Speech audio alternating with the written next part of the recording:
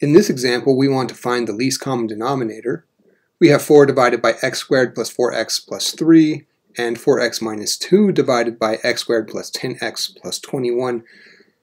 In this case, we don't care about the numerators at all. Don't even look at them.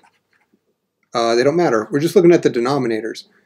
You always factor first to find the, the LCD. So factor first.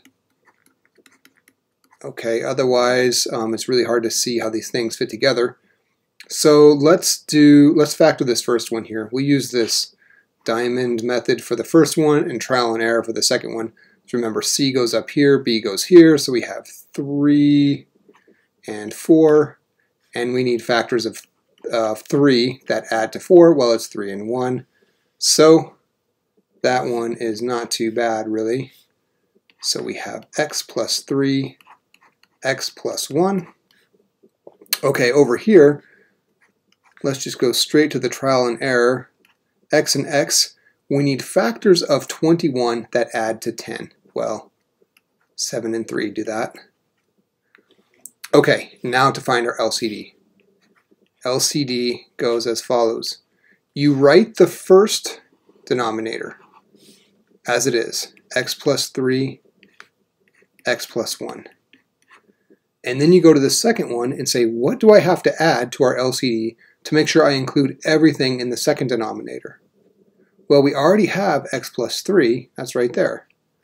But we don't have x plus 7 yet. So I'm going to add that in, x plus 7, and now we've included everything, right? The whole, every single term that shows up in any denominator is included in our LCD, so that's our answer. Let's try another one of these.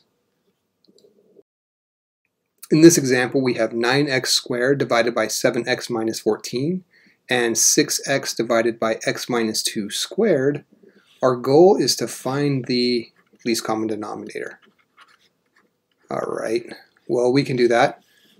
The first step in this process is always to factor the denominators. So let's see, we can get a GCF out of this first one here. We factor a 7 out, we get 7 times x minus 2. Okay, so here are the two denominators that we're looking at. Right? We don't even care about the numerators at all. That's a comma between them. Okay, so the way you do this, here's our LCD. You start with the first one. Okay, so we have a 7 and an x minus 2.